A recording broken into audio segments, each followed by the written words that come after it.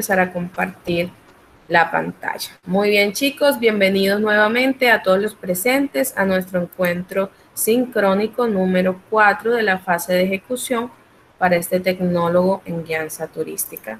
Vamos a iniciar con eh, la presentación. Ya estamos compartiendo pantalla. Por favor, me confirman que todos pueden ver la presentación. ¿La podemos ver? Sí, señor, yo sí la veo. Muy bien, espero que todos logren verla, que todos estemos ya ubicaditos y con nuestros apuntes a la mano para el inicio de, este, de esta sesión número 4, que va a ser una continuación de lo que hicimos en la sesión 3 para este RAP o resultado de aprendizaje, leer textos complejos y con un vocabulario más específico en inglés general y técnico, donde estamos viendo algunas herramientas importantes para los discursos secuenciales, donde estamos trabajando vocabulario de alimentos, y algunas food, food partitive y unidades de medida. ya vamos a ver algunas de ellas, a recordar un poquito lo que hicimos en el Grammar Focus anterior y ver eh, la temática que vamos a trabajar el día de hoy. ¿Listo? Entonces, iniciemos. Este es The Order of the Day, the Summary Agenda. Estos serán nuestros ocho puntos para el día de hoy. The first point, uh, or point number one is saying hello. Vamos a hacer nuestro saludo habitual. Number two, commitment session three. Recordaremos cuáles fueron esos compromisos que quedaron en la sesión anterior. Number three, grammar focus three. Veremos el siguiente o el grammar focus el número tres o el enfoque gramatical 3. Number four, training learning material, let's go camping. Vamos a seguir explorando el material de aprendizaje Let's go camping que encuentran en la plataforma eh, Territorium. Number five, step by step evidence to development. Les voy a regalar un paso a paso de cómo pueden organizar su discurso para el desarrollo del video eh, de esta evidencia que corresponde a dos recetas que van a presentar como especie de un master chef. Le van a, presentarme su preparación en un campfire. Número Number six, evidence to schedule review. Vamos a recordar los tiempos límites de entrega de esta evidencia. Uh, number seven, evaluation criteria. We're going to see what are those evaluation criteria for this uh, evidence. Todos esos criterios o todos esos aspectos que vamos a tener en cuenta en la calificación del video y que esperemos que no pase lo que nos pasó con el video anterior, que se nos olvidó poner los subtítulos o que algunos colocaron esos subtítulos, pero en español. Los subtítulos deben ir en el mismo idioma inglés. Number eight, new commitments. Serán los compromisos que se generen a partir de la finalización de esta sesión. Muy bien, y, teniendo los puntos claros de, lo que vamos a trabajar, iniciemos. With the saying hello, les estaba saludando a todos antes de iniciar con la grabación. Eh, espero que se encuentren muy bien y pues quisiera además recordarle a esas personitas que aún tienen actividades pendientes, debemos ponernos al día con la evidencia de How to Set Up a Camping Tent, que aún pues está abierta para que ustedes la carguen. Muy bien, iniciamos con el number two, que es el Grammar Focus. Aquí estamos recordando un poquito eh, lo que hicimos la clase pasada, que corresponde a las food partitives. Estuvimos viendo todos esos containers con los que nosotros a veces eh, medimos la cantidad de alimentos. Mm, a veces no tenemos una unidad de medida eh, exacta para decir la cantidad de algún alimento y decimos a cup of tea, a bubble of fruit, hablamos que una bubble era una taza, a cup un pocillo, a jack era una jarra. Y bueno, estuvimos viendo cada uno de ellos, pueden verlo y pueden repasar todos estos food partitive en eh, el video de la clase anterior, nuestra sesión number 3. Ahí van a encontrar un poquito de la estructura cuando utilizamos estas food partitive que van a ser de gran ayuda, ayuda para ustedes al momento de organizar su discurso para la recipe que van a presentar en el campfire. Y tenemos, bueno, hice un pequeño resumen de todas las que vimos con algunos de los ejemplos. A backpack of chips, a jar of cookies, a box of chocolates, a slice of orange, para cada una, pues dependiendo la forma y el tipo de alimento. Muy bien, además de ver esas food partitive, otra de las temáticas que vimos fue los cooking verbs o esas acciones que usamos, esos verbos que utilizamos al momento de describir preparación de alimentos. Tenemos fry, que era freír, boil, hervir, steam, decíamos que era ese baño María o baño vapor, chop, picar en trozos pequeños, grill, ya cuando hablamos de asar, stir, revolver, peel, pelar, spread, untar, mix, mezclar, pour, echar un chorro, grate, rayar y tenemos slice, que es el verbo que utilizamos para decir que cortamos en rodajas. Estos son algunos, no quiere decir que son todos los cooking verbs, fueron, los que vimos y son algunos de los principales, los más comunes. Eh, pero existen muchos más que ustedes pueden ver dentro del Learning Material o el material complementario que eh, les mencionaba la sesión pasada. Muy bien, eh, recordemos un poco en este point number two cuáles eran los commitments que dejamos al final de la session number 3. Aquí estaban, teníamos eh, sesión el día de hoy, viernes 19 de junio, y estos eran nuestros commitments para hoy. ¿Cuáles? Explorar los segmentos Let's Read, Let's Talk y Group Management del Learning Material Let's Go Camp. En, en ese Learning Material íbamos a enfocarnos en estos tres segmentos. ¿Por qué? Porque ahí vamos a encontrar información relevante sobre food, sobre eh, eh, todo esto que tiene que ver con preparación de alimentos. Em, espero que lo hayan hecho y es fundamental para lo que viene en esta session number 4. El otro commitment, ¿cuál era? Debíamos desempolvarnos un poquito de cierto learning material que ya trabajaron con su instructor anterior, que corresponde a Cultural and Natural Destinations en Colombia, eh, de la actividad de proyecto 2 y Tour Guiding Resources de la actividad de proyecto 4. Ahí encontrarían expresiones y vocabulario referentes a food o alimentos. Por eso ya ese tema no lo vamos a tratar ahora porque ya lo vieron anteriormente. Y tenemos el point number 3, explorar el material complementario, Camper's Cookbook y el eh, Campfire Cookbook. Estos dos libritos o cartillas se las envié también al correo electrónico y corresponden a libros de, recipes o recetas. Ustedes debían escoger dos, que son las que van a utilizar para su video final de la, de la evidencia que corresponde a este rap o a este resultado de aprendizaje y debían enviarme las dos recetas que iban a escoger al WhatsApp. Debo felicitar a esas personas que muy juiciosos hicieron la actividad, hicieron, eh, llevaron a cabo su compromiso y me enviaron al WhatsApp las dos recetas que escogieron para el video tutorial. Los que no lo han hecho, solo espero y aspiro que al finalizar esta sesión, muy juiciosos vayan a estos dos documentos que le envié al correo y me escojan las dos recipes y me las eh, comenten en el grupo de WhatsApp.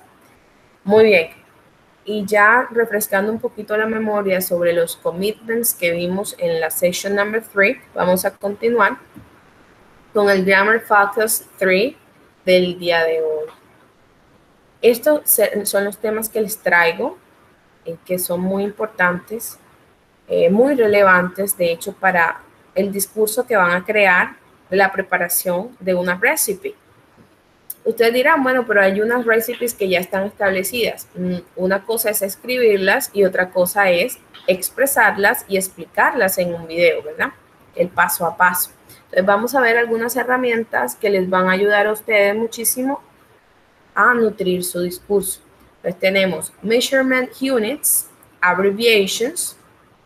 Vamos a ver todo lo que son las unidades de medida. La clase pasada, como les decía, vimos las Food partitive, pero ya corresponde solo a containers o a recipientes.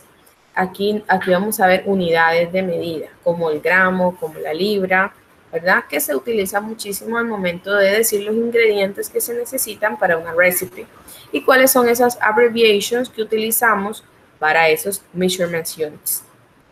Otro de los temas que les traigo es reading fraction numbers, como utilizamos mucho eh, en nuestro idioma, media de esto, un cuarto de esto, un tercio de tal alimento, ¿cierto? Para definir cantidad de ingredientes para tal recipe, vamos a aprender hoy a leer estas fractions. También les traigo los imperative. Los imperative es una forma de dar instrucciones o de dar órdenes. ¿Cómo se dice? ¿De qué manera puedo estructurar un imperative para una recipe? Vamos a ver. Y el último tema son las sequence connectors. Los sequence connectors serán aquellos que me enlacen una oración con la otra para que vayamos teniendo una fluidez en lo que vamos hablando. Entonces vamos a mirar uno por uno. Empecemos por los Measurement Units Abbreviation. Aquí tenemos eh, algunos de los más utilizados. En el cuadro grandecito encontramos de todo un poco, desde eh, Measurement Units para líquidos o para volumen, para tiempo. Tenemos también para peso. Vamos a ver uno por uno y de qué forma usamos la abbreviation. ¿Por qué es importante esta abbreviation? Porque el, cuando damos la lista de los ingredients, siempre utilizamos es la abreviación, ¿verdad? Entonces, a veces no las identificamos al momento de hacer una, una lectura, un reading, y no sabemos qué significa, pero porque está con la abbreviation. Entonces, vamos a identificar algunas de ellas. Empecemos. Basic Math Abbreviations. Esta C es CAP, Corresponde a una taza. Centimeter es la misma abbreviation que utilizamos en nuestro idioma. Day o día. Fluid ounce. Eh, sorry, fluid ounce, que es onza pero en líquido. De esta forma lo podemos abreviar. Feet o pies. Gram, utilizamos la G, gallon, gal, hour, usamos la H, inch, in, kilogram, liter, pound, meter, mile, minute, month, millimeter, ounce, pint. Este pint eh, les quería comentar que es un poco más que una cap o un glass, que es un vaso. Pint es algo así como esos vasos cerveceros que utilizan muchísimo en los bares. Eh, en nuestro idioma le decimos una pinta.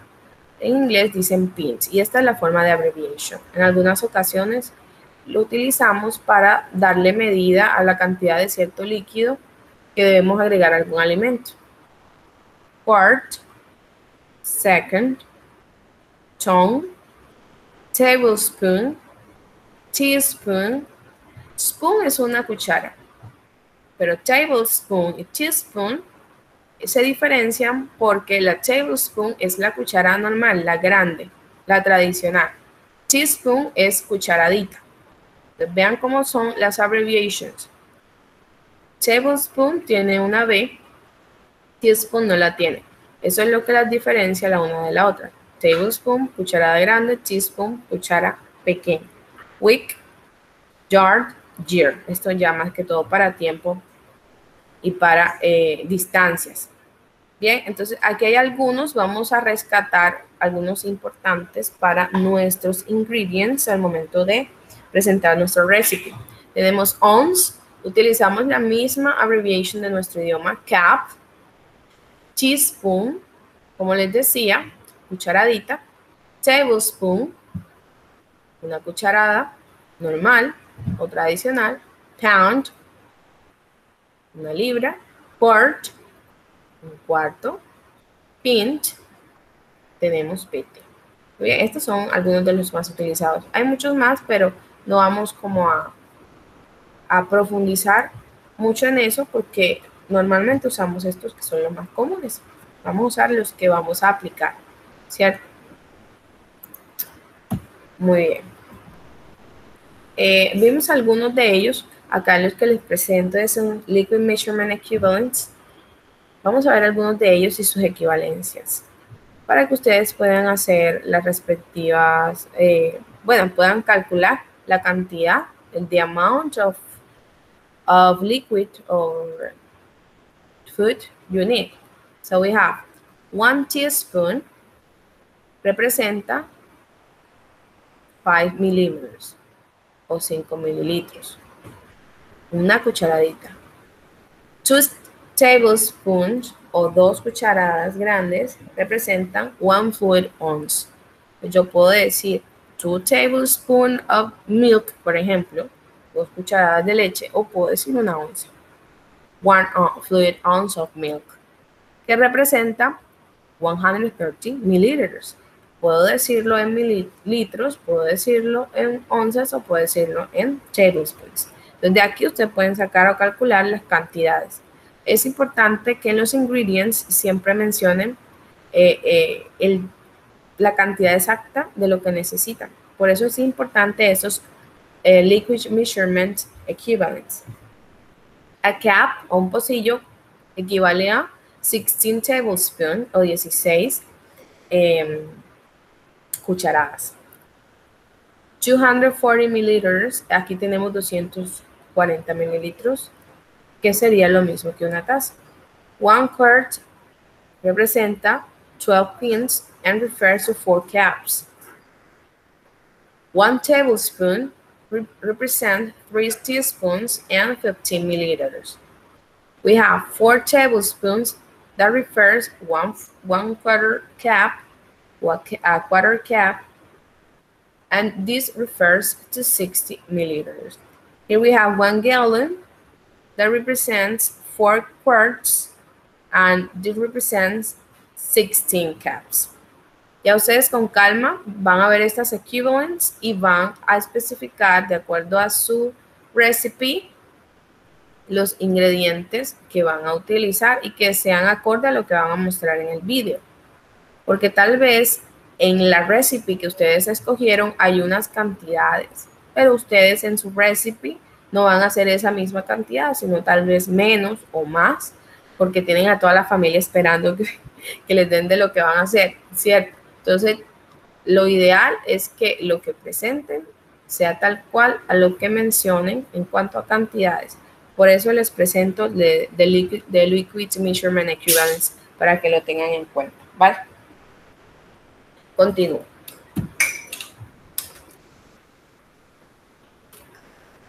How to read fractions in English. Eh, es muy cierto que en los ingredients mencionamos mucho fractions o las fracciones que hablamos en nuestro idioma.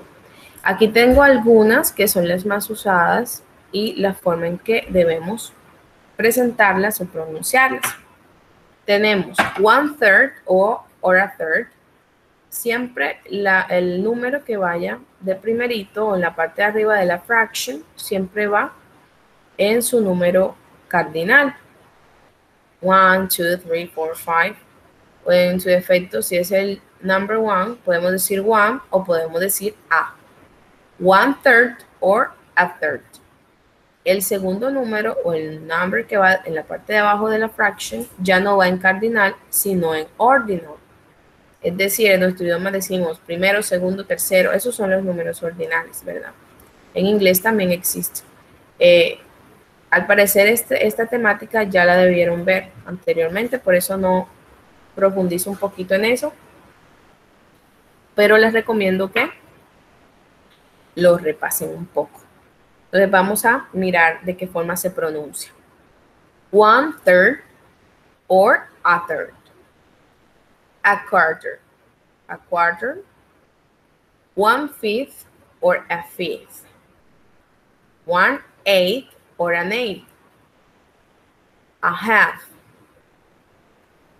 two thirds, three quarters, two fifths, five eighths, one and a half, five and three quarters, Ahí tenemos algunas de las más comunes y sé que les van a servir muchísimo al momento de pronunciar las cantidades en, la lista de los ingredients que me presente.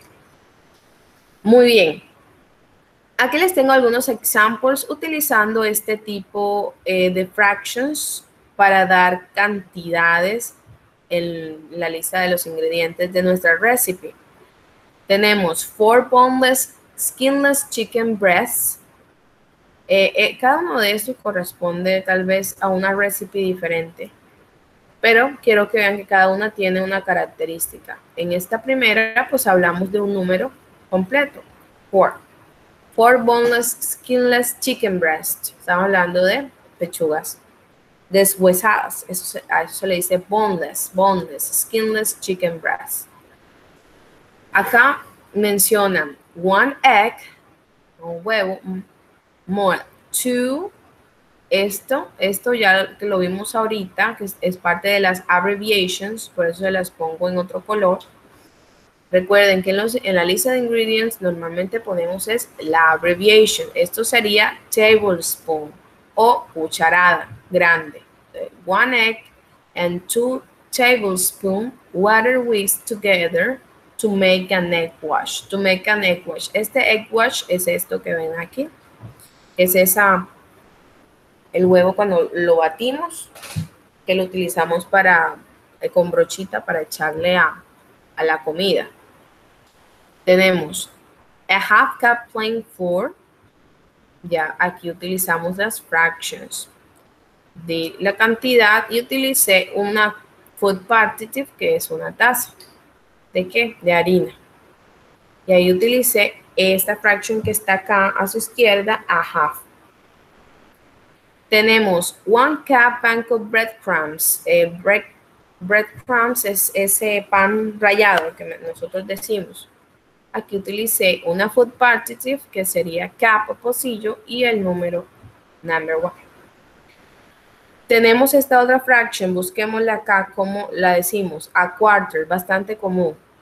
A quarter cup grated parmesan cheese. Tenemos romaine lettuce. Eh, normalmente en este tipo de vegetables no damos una medida exacta, solo decimos que algo de, de lechuga. Ya eso sería más al gusto.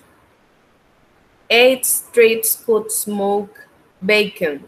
Usted dirá, uff, pero todo eso para decir que lo que queremos es bacon. ¿Sí? Cada cosa tiene sus respectivas características. En este caso, que sea ahumado, que sea un bacon ahumado y que sean ocho strips, ocho tiras. Y acá tenemos canola oil for frying. Esta canola oil sería la marca del aceite. Siempre va primero que el, objeto de mención. En este caso el oil, que es el aceite. Como es de canola, primero pongo la palabra canola. Canola oil for frying o aceite de canola para freír. Bien, espero que les haya servido esta lista de ingredients para la creación de la propia. Ahora vamos a hablar de los imperatives, que les decía que son muy utilizados al momento de dar instructions para recipes. Los imperatives aquí nos dan una información importante, vamos a hacer el reading de ella. Use the base form of the verb to give commands or make direct requests. This use of the verb is called imperative. Lo utilizamos como una base o utilizamos la base del verbo eh, para iniciar una oración. Este verbo, eh, ya no vamos a hablar de una oración donde primero va el pronombre, verbo y complemento. Cuando damos instrucciones o damos órdenes, siempre iniciamos por la acción o verbo. En este caso, esos que vimos en la clase pasada y les recordé ahorita al inicio de la sesión, los cooking verbs. Siempre vamos a iniciar con el cooking verb. Aquí estoy dando algunos, los que están en azul corresponden a los cooking verbs. Normalmente siempre van al inicio o, dan arranque a la, a la instrucción o a la orden que se está dando frente a la preparación del alimento. Aquí utilicé melt, melt a quarter butter in a large frying pan. Aquí utilicé melt ¿verdad? Y estoy utilizando las cantidades en esta, en esta ocasión, sería un cuarto. Luego viene el alimento como tal o el ingrediente. In a large frying pan. Luego, que mencioné? Lo que está aquí en rojo, el utensil que vamos a utilizar o el utensilio o el container en el que se va a hacer la mezcla. Entonces, primero doy la acción o el verbo, luego la cantidad, en este caso a quarter, luego menciono el alimento y en qué tipo de utensil lo voy a poner. En este caso, un frying pan o un sartén para freír. Veamos el segundo. Combined three egg whites. Aquí utilicé combined o combinar, por eso inicié la oración con el verbo. Luego de la cantidad, que serían cuántos. Luego menciono eh, el alimento como tal, las claras de huevo, egg whites. ¿Con qué voy a combinar esos three egg whites? A cup of water. Vean que en este caso que utilicé a food partitive de las que vimos la sesión pasada. Una taza de agua. One teaspoon of salt.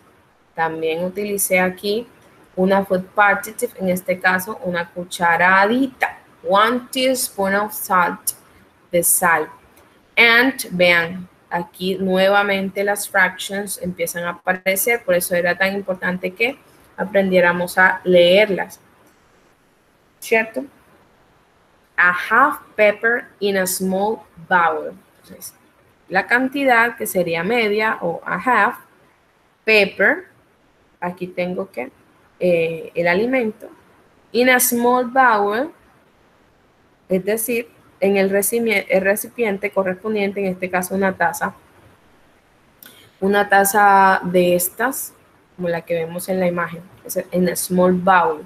Entonces, eh, si se dan cuenta dentro de la estructura, siempre voy a poner primero eh, la acción, la cantidad, el alimento, los alimentos que estoy mezclando.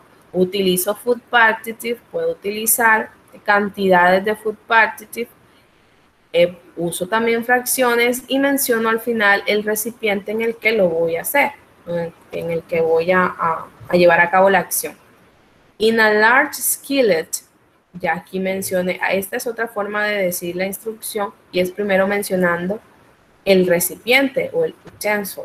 In a large skillet o en un sartén grande, coma, luego de que ya dije el utensil o el utensilio, coma, ahora voy a dar la instruction. Vean que inicié con un verbo.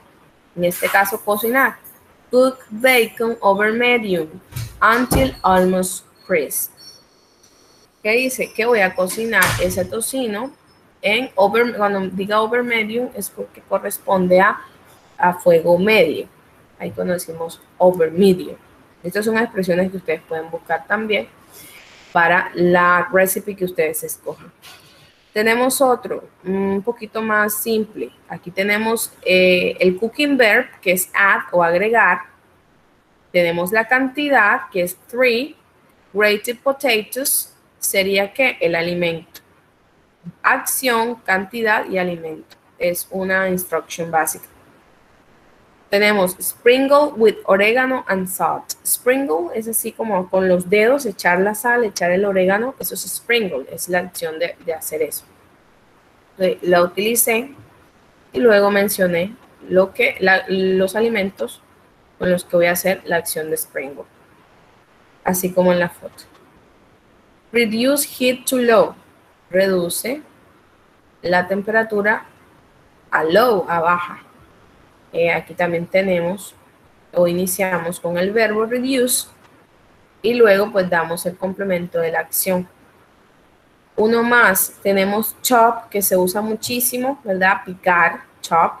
Inicié con la acción de chop, di la cantidad, en este caso two onions, into small pieces in a chopping board. Vean que maneja mucho la estructura de las anteriores. Coloqué el verbo chop, la cantidad del alimento, en este caso to, cuál era el alimento en mención, onions, las cebollas, into small pieces o en pequeñas porciones. ¿Dónde? ¿En qué recipiente? In a chopping board o en una tabla para picar. Entonces, ahí utilicé de mucho vocabulario. Vocabulario de Cooking Birds. Utilizo los numbers que debo saber muy bien cómo pronunciarlos porque voy a, a decirlos en un video. El alimento, y los recipientes en que voy a hacer dichos alimentos. Esos son algunos de las formas en que puedo ir dando instrucciones. Eh, claro está, estas instrucciones eh, van una con la otra, ¿cierto? Una eh, es secuencial a la otra. Por eso vamos a ver las sequence connectors, que son estos que están aquí. Y, aquí les traigo una, una receta, una recipe muy sencilla de cómo hacer una taza de té, ¿verdad? Para que puedan ver eh, la utilidad de los sequence connectors. Aquí tenemos algunos de los más frecuentes. Tenemos first, second, third, then, next, after that, as soon as, later, finally. ¿Para qué son estos sequence connectors? Para darle un enlace o un link entre una acción y la otra, como haríamos en nuestro idioma. Primero cortamos en rodajas así, luego hacemos esto así. Eh, eh, por último, realizamos esto así. Son conectores secuenciales para que mi discurso tenga fluidez y vaya mostrando el paso a paso de cómo deben ir haciéndose las cosas. En este caso, la preparación de eh, the meal o de, o the dish, del alimento. Aquí tenemos first, primero, second, segundo, third, tercero, then, luego, next, también tiende a ser un luego, o seguido de esto, after that, sería después de esto, eh, o podemos decir simplemente after. As soon as, tan pronto hagas esto, viene la otra acción. Later, después de, y finally, que ya sería como la opción final para cerrar con la preparación. Normalmente estos sequence connectors van acompañados de una coma para que lo tengan en cuenta, ¿vale? En, el tema de, de recipes que sean escritas. Aquí tenemos un ejemplo, como les decía, how to make a cup of tea. Y utilizan algunos de estos sequence connectors. Iniciamos, dice first, aquí de una coma, primero, boil some water. Vamos a hervir un poco de agua. Next, o decimos luego, coma, serve the water in a cup. Sirve el agua en una taza. Then, decir luego, put the tea bag in the water. Vas a poner el tea bag del té en el agua. After, que sería después de eso, coma, add some sugar and milk. Agrega algo de azúcar y leche. Finally, finalmente, add a biscuit and enjoy it. Agrégale una galleta y disfruta. Es una, una recipe bastante sencilla y vean que cuántas instructions nos dieron. One, two, three, four, five instructions. Y utilizamos estos five uh, sequence connectors para darle secuencia a mi discurso un paso tras el otro. Espero que los tengan en cuenta porque también eh, pues voy a verificar que utilicemos algunos de estos para que nuestro discurso pues sea mucho más agradable y más secuencial. No es lo mismo ir diciendo hago esto, hago esto, hago esto, que decirlo a través de conectos secuenciales. Muy bien. Bien, chicos, eh, estas herramientas que les estoy mostrando pues son vitales para el discurso que van a crear. Bien.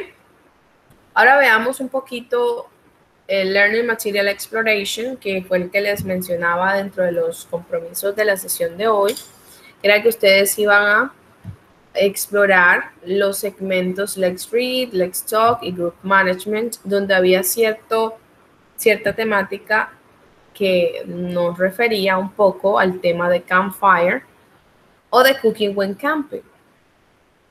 Aquí les mostraba esos tres temas que eran más relevantes dentro de la guía o dentro del material para que ustedes repasaran. How to build a campfire the right way.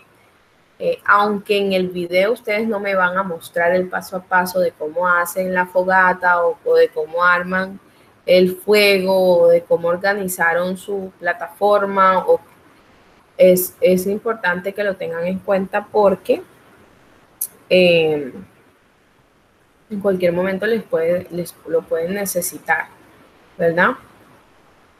Tenemos Campfire Cooking Equipment. Este es importantísimo porque ustedes pueden estar mencionando algunos de estos equipos o equipamientos o utensilios de un Campfire Cooking. Y por supuesto, había unas recipes para Campfire Cooking que estaban también en Group Management para ustedes escoger la que eh, consideraran más apropiada para su video. También les entregué estos dos, estas dos cartillas, estos dos libritos, Camper's Cookbook, A Guide to Gourmet in the Great Outdoors and Campfire Cookbook. Estos eh, eh, contenían una gran lista de, de recipes o de recetas que ustedes debían escoger. Como les decía, deben, deben seleccionar dos para su video y así ponernos al día. Bien, vamos a ver un poquito si me están escuchando, a ver quiénes están por aquí. Los escucho muy callados. Sí, profe, aquí estamos atentos. Ah, qué bueno. muy bien. Bueno, entonces voy a continuar. Bien, entonces dentro de ese Learning Material Exploration teníamos Campfire Cooking Equipment. Aquí les traigo algunos de ellos. Me imagino que los vieron. Para algunos de ustedes esto será un poquito familiar. Ustedes, de acuerdo a sus posibilidades, pues escogerán con cuál de estos van a hacer su respectiva, su respectiva recipe. Solo que hay algunas recipes que no se pueden hacer con cualquiera de estos. Es decir, tienen que tener claro qué, qué equipment van a utilizar para saber qué recipe pueden hacer o pueden preparar. Aquí tenemos el Campfire Triple or Spit. Este es muy famoso, solo que aquí en la picture este es uno de los que más usa. Es especie de, un triángulo y eh, el pot o la olla o el utensilio que utilizan normalmente está aquí tendido. Eh, normalmente usan ollas como el cast iron que está acá de tercero. It allows you to hang all sorts of campfire cooking tools over the fire. Tenemos el campfire rosatory, este que está aquí. El, hay algunos que son manuales, otros que son con un motor, que van girando, van girando y van haciendo eh, pues el asado del alimento mucho más homogéneo. It's a great way to roast big cuts of meat. Eh, pues es bastante usual para alimentos o trozos bastante grandes porque la cocción es completa ya que va haciendo el giro, ¿verdad? Eh, cast iron and long handles killets and roasters. Este es muy parecido a este que está acá, pero está totalmente colgado. Eh, el de acá tiende a pegar a una parrilla. For skillets, find ones with long handles that you can hold over the fire from a distance. Esos que tú requieras que pues que esté el pot bien alejado del fuego. Aquí está el cast iron and long handle skillets. Tenemos el long handle skewers. Estos skewers son unos palillos eh, algunos son en aluminio, eh, pues son los más comunes ya como para, para no tener tanto protocolo y ahí le ponen la comida en una de las puntas y lo ponen en el fuego y así van comiendo. Normalmente lo usan más que todo para el sausage o, las salchichas, ¿verdad? Y bueno, este sería como el más moderno, el que no le gusta eh, como que estar ensuciándose mucho. Llevan un portable grills o burners. Estos burners eh, pues son a gas. Em, y pues allá no es necesario mucho, ¿verdad? Pues ya la logística es menor. Pero la idea es que si estamos en un campfire se haga pues todo el proceso, ¿verdad? Pues ya todo va a depender de las herramientas y de las tools que ustedes tengan eh, para realizar el campfire. Aquí hay unos cooking utensils, les presento algunos que podrían estar utilizando en el cooking. Tenemos los knives fundamentales, wooden spoon, importantísimo si vamos a manejar eh, pans. Food storage. Eh, los food storage son esos eh, recipientes de almacenamiento. Los skewers, como les decía, son unos palillos largos donde ponemos el alimento en el fuego directamente, como las sausage, como las que están en la imagen. Y bueno, eso nos hace como la vida más fácil, ¿verdad? Sin tanta preparación. pero sí son bastante comunes. Tenemos tongs, eso es para coger los alimentos, como una pinza, hay de aluminio, hay de madera, todas las conocemos. Whisk, para batir, chopping board, bastante usual. Pots, que son los pans, water containers. Me pasé un poquito. Un segundo.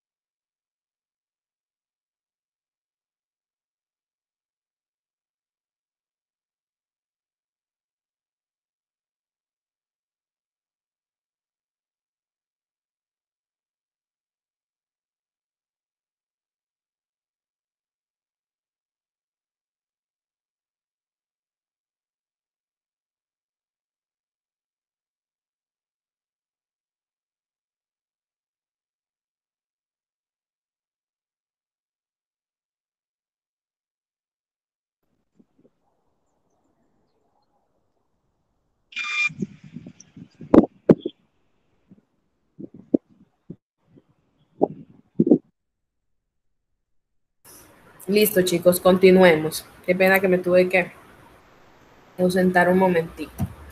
Bien. Uy, ahora me, salí de la secuencia. Y vamos por aquí, por el vocabulary de Cooking Utensil. No quiere decir que solo van a usar alguno de estos, ¿verdad? Porque todo va a depender de la recipe que van a escoger. Tenemos los pots, que son las ollas pans y water containers, y hay muchos otros como los cool box, que son esos, esas neveritas donde llevamos los alimentos para conservarlos, y hay muchísimos más que pueden ser de gran utilidad para ustedes. Yo les podría pasar un vocabulario adicional si quieren tenerlo. Pero igual yo sé que las recipes que ustedes escogieron tienen prácticamente mm, eh, la estructura montada solo que necesitan tener ciertas herramientas adicionales para mm, manifestar o expresar esa preparación. Bien, por eso aquí yo les entrego, digamos que un paso a paso, un step by step de cómo hacer ese video. A ver, tenemos claro que el 25 de junio es la fecha, ¿cierto? Entonces, el video debe tener estos cuatro steps o pasos. sorry. El primero corresponde a Introduction. ¿Qué vamos a hacer ahí? La primera parte del vídeo ustedes mencionan cuál es el recipe name o el nombre de la receta. No van a empezar enseguida. Primero tienen que batir estos huevos. Segundo, tienen que echar, no, eh, primero tenemos que presentarnos, ya esa partecita la sabemos. Tenemos que decir cuál es el recipe name, el nombre de la receta. The perfect occasion for the recipe puede ser también un buen dato, en qué, en qué situaciones la podemos hacer, en qué ocasiones. Y aquí hay un pequeño ejemplo de cómo pueden arrancar la introduction de su video. Por ejemplo, hello, welcome to Carmen's Kitchen. Recuerden que ustedes van a ser especie de un episodio de, de Masterchef. Entonces, hagan de cuentas que es su cocina, su campfire, su campfire kitchen. Entonces, deben empezar así. Hello, welcome to Carmen's Kitchen. Today, we are going to prepare a delicious dish called chicken enchilada pasta, which is perfect when camping. Aquí mencionó o de una bienvenida, un pequeño saludo informal, dijo de qué trataba la receta, cómo se llamaba y en qué situación se puede hacer. En este caso, cuando estemos en campamento, cuando estemos acampando. Esta cumple con esos requerimientos mínimos de hacer una introduction de una recipe. Luego de que hagas introduction, que este es un ejemplo, no quiere decir que lo hacer idéntico, pero si pueden basarse en él, vamos a decir los ingredients.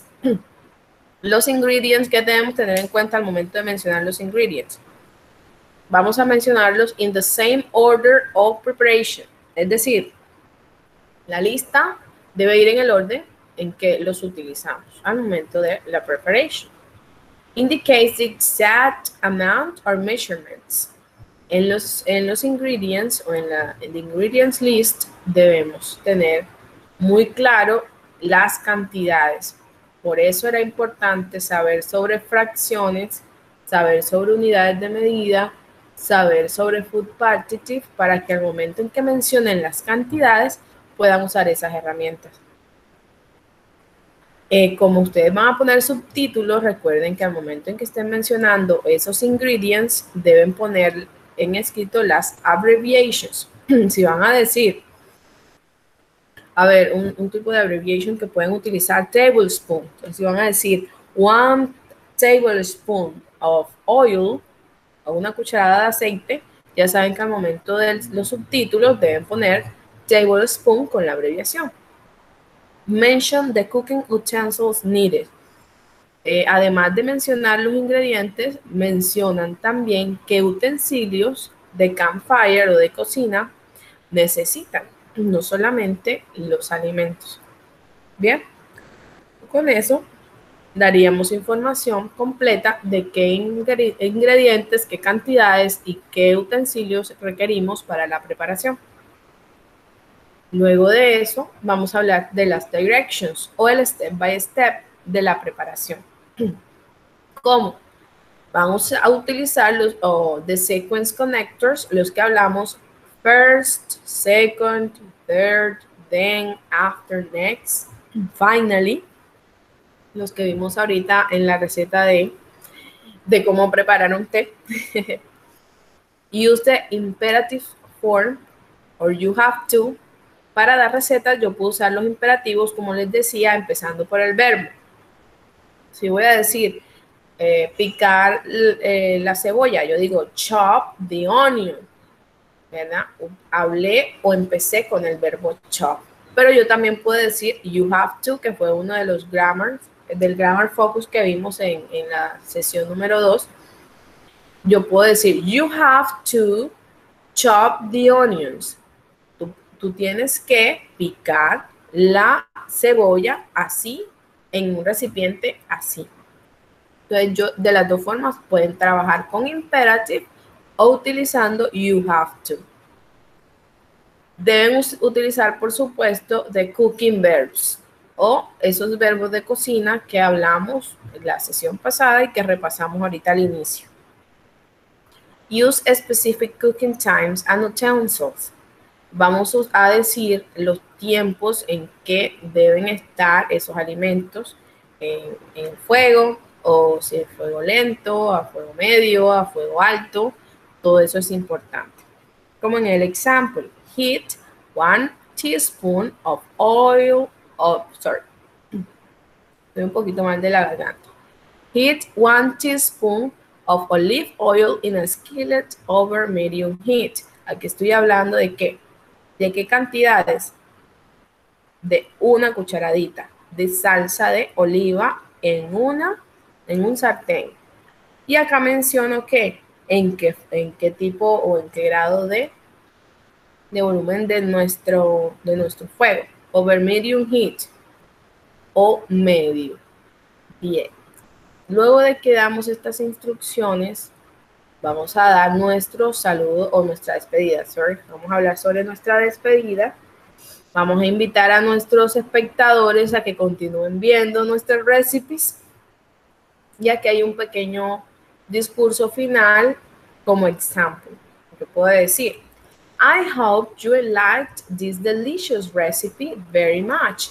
See you next time with your chef Diego. Bye bye. Es un pequeño ejemplo, como les decía. Aquí que estoy diciendo, estoy invitándolos a nuevas, bueno, primero deseando que les haya gustado la recipe y también invitándolos a una nueva con el chef, que en este caso eh, quedó Diego como protagonista, y un bye bye, que es una despedida bastante informal para dar seguridad y confianza con el espectador. Entonces, estos cuatro aspectos importantísimos dentro de la creación de su video. Quienes quieran mostrármelo antes de grabar, maravilloso, me pueden enviar un pantallazo a mi WhatsApp, yo les reviso, yo les digo, chicos, vamos a agregarle esto o así está muy bien. Listo para que ustedes lo vayan haciendo. Teacher, esta palabra no, no sé muy bien cómo la puedo pronunciar. ¿Será que usted me la me envía un audio para yo practicar? Con todo gusto lo envío. Teacher, esta expresión cómo la puedo eh, pronunciar o teacher, esta fracción no me quedó claro cómo la pronuncio o cómo la puedo decir o esta lista de ingredientes así como la puse está bien. Y yo con todo gusto les puedo dar el feedback. Entonces ya saben que tenemos para hacer este vídeo hasta el 25 de junio. Aquí les presento dos videos. Estos videos los van a ver ustedes juiciosos cuando tengan el espacio eh, de dos recipes o dos personas que están presentando la preparación de una recipe. Los dos son contextos diferentes, pero eh, cualquiera de los dos está bien. El primero nos habla sobre los imperativos o utiliza los imperativos dentro de su estructura. Y el segundo no nos habla de imperative, sino de you have to. Con cualquiera de los dos, como les decía, imperative o you have to, pueden trabajar para hacer su discurso. Pero que los vean, ellos tienen subtítulos, así que les va a ayudar muchísimo para su, eh, su explicación en el video. Aquí, en el punto 6, pues ya hablamos de tiempos, pero antesito quisiera escucharlos a ustedes si tenemos dudas sobre la creación del video, de cómo preparar dos recetas en camping. ¿Alguien tiene alguna duda sobre cómo deben hacer ese video? Para aclararlas ahorita.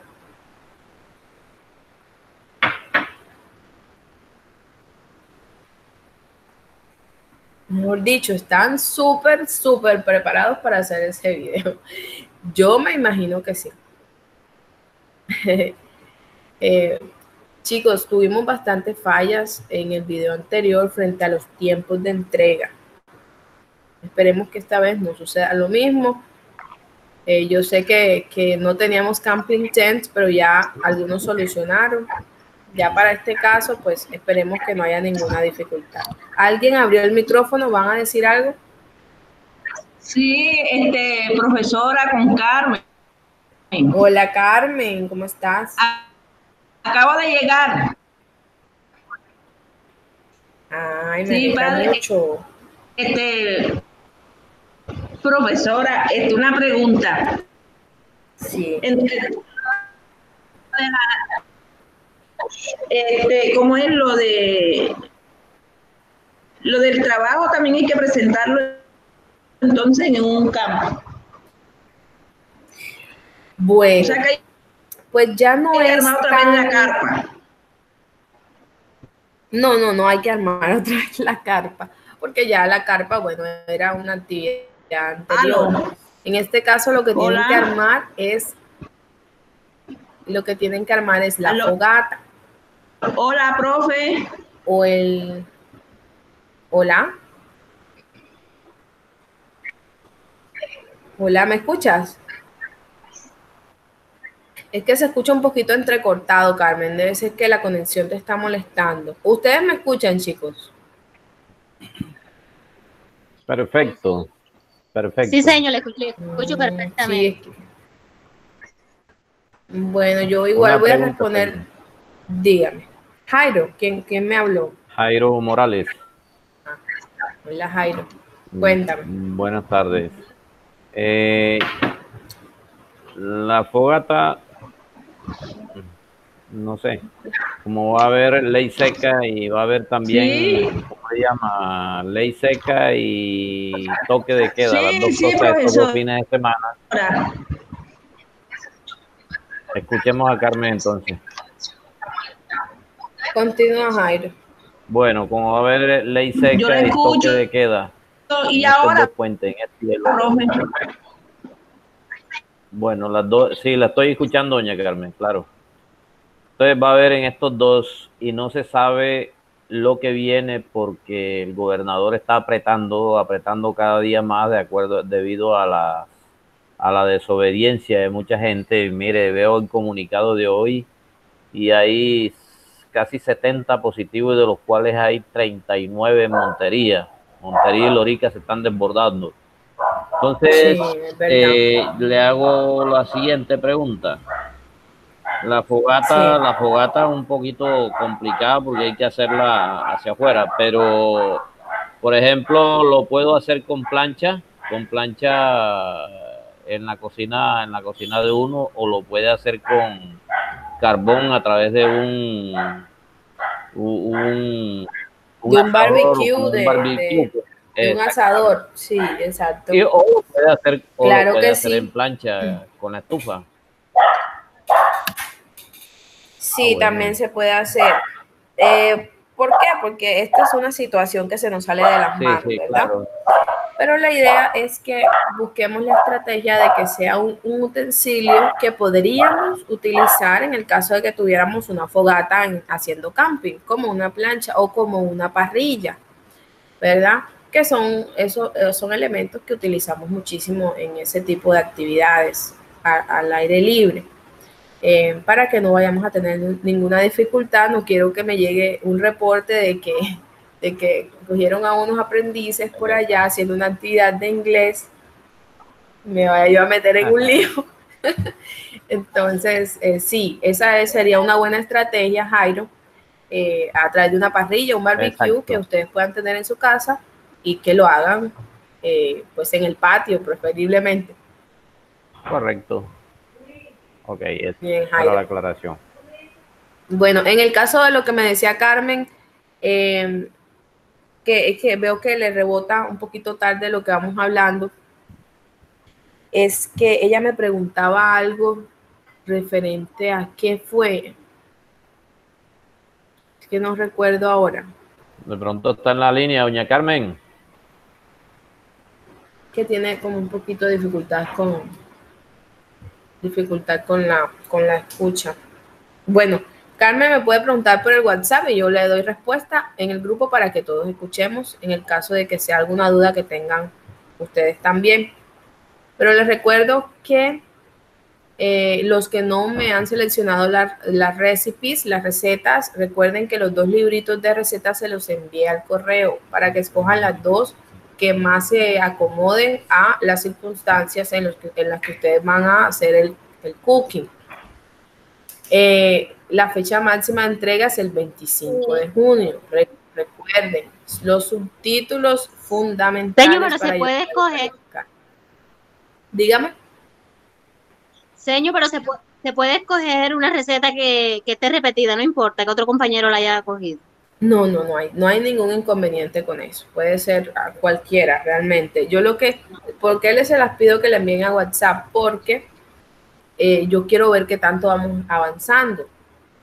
A veces vienen y me esperan el mismo 25 de junio para escoger qué es lo que voy a hacer, cómo lo voy a hacer. La idea es que poco a poco vayamos haciendo tareas pequeñas, pero vayamos avanzando y que no nos coja el tiempo. Por eso le doy ciertos compromisos en ciertos momentos. Bien, pero sí puede, puede repetirse, no hay ningún inconveniente. Bueno, recuerdo cositas importantes. The Evaluation Criteria Review. Aquí vamos a ver algunos de los aspectos, como les decía en la sesión pasada, y como recorderis, de los puntos que vamos a tener en cuenta en la calificación. Number one, evidencia la consulta del material de formación Let's Go Camping. Como les decía, en Let's Go Camping hay vocabulario y hay expresiones que utilizamos en Campfire que ustedes pueden aplicar en su discurso. Evidencia la consulta de los materiales complementarios, es decir, eh, utilizó las dos recetas o the two recipes de los dos libritos que le envía al, correo. Tres, incluye subtítulos en el video, fundamental, chicos, los subtítulos.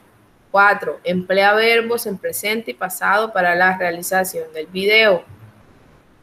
5. Emplea los verbos to be, to have, to do para realizar el video. Emplea there is y there are en la realización del video. 7. Emplea regular and irregular verbs en la realización del video. 8. Entrega el video en el tiempo acordado. Esto también es fundamental. Me están entregando tarde. Ah, vamos a tener en cuenta las fechas. Number nine, envía el desarrollo de la evidencia a través de la plataforma virtual de aprendizaje. Si tenemos esto clarísimo, chicos, nos va a ir súper bien en esa calificación. Así que, finalizando con nuestra sesión, aquí tenemos los nuevos compromisos. Esperemos que no se crucen con la profe Mariate o con los demás instructores que trabajan con ustedes también en sesiones. El día 30 de junio tienen alguna actividad programada?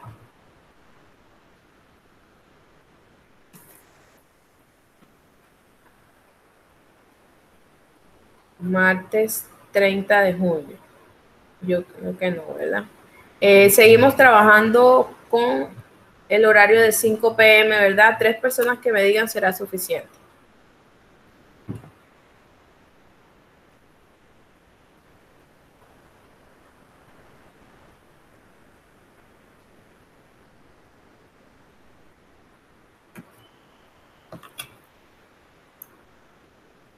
Se me fueron.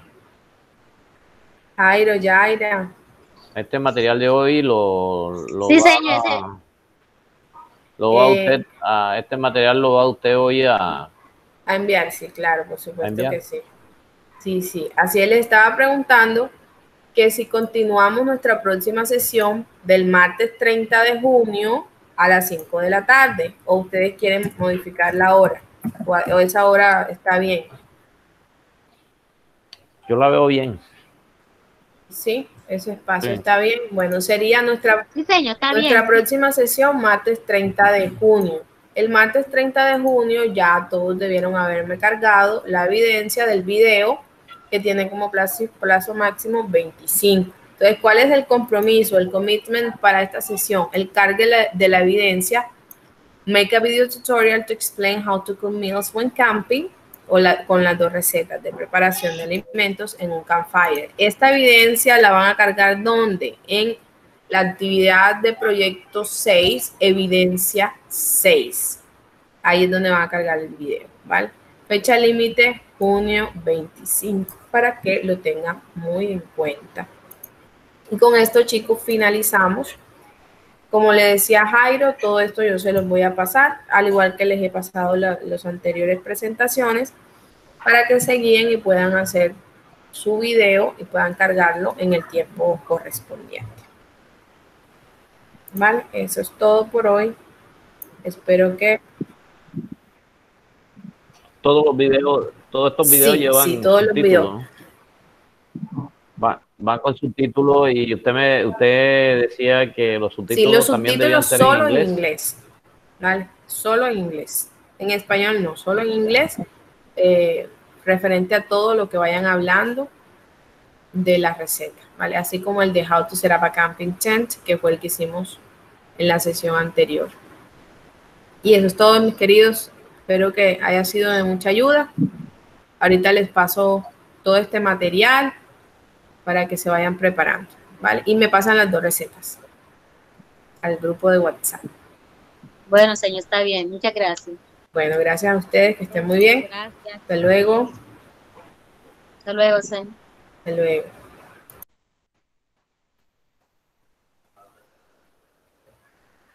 Mira.